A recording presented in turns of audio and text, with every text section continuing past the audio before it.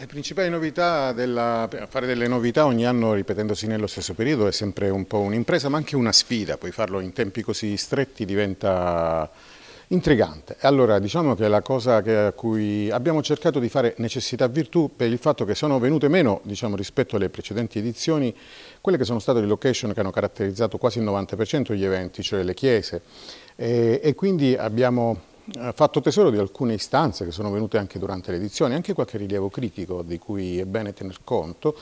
che malgrado qualche mia riserva circa il fatto che si possa fruire piacevolmente di un concerto quando il mese è dicembre e il periodo della giornata è serale, proviamo a fare delle cose all'aperto. Allora se proprio dobbiamo farlo, cerchiamo di mantenere il nostro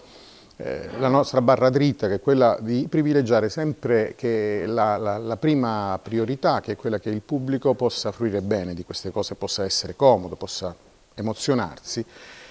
E quindi confidiamo nel, nel tempo, nelle condizioni meteo e cercheremo di creare una specie di bolla, di villaggio di, di, di, onirico, direi felliniano se non volessi delirare,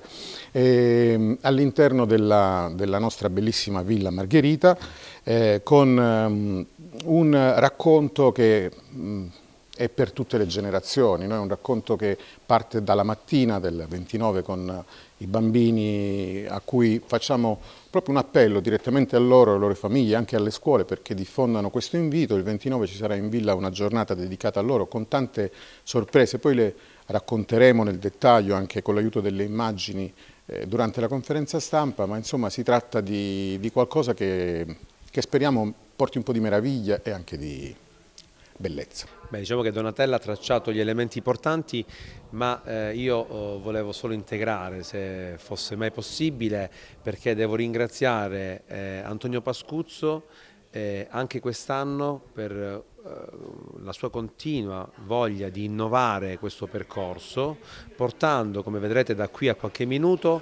eh, ampliando la novità già l'anno scorso della, della Nacalaica che eh, è divenuta a questo punto un elemento identificativo non solo del festival ma speriamo che possa essere un attrattore anche nei futuri anni perché è una cosa bellissima che permette non solo di parlare di cultura e di musica ma di parlare di questo territorio passando al centro della città soprattutto in luoghi che spesso vengono dimenticati. Sì, le location sono diverse, quest'anno ci ha voluto sorprendere riprendendo una progettualità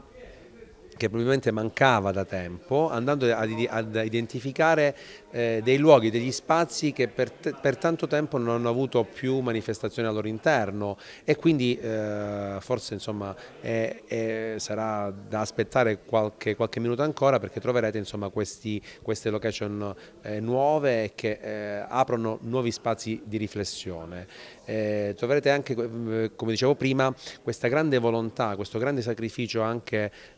penso di programmazione di Antonio nella volontà di innovare ancora. Era una cosa che gli avevamo chiesto, è una cosa che lui ci ha voluto continuare ad offrire ed è per questo che l'amministrazione eh, rispetto anche a quello che è un ambito professionale, un ambito comunque di, di affidamento, ma dimostra la sua gratitudine perché quando c'è questa volontà, questa sinergia, credo che sia uh, un, un unicum che permette poi al territorio di avere un beneficio eh, estremo, ampissimo.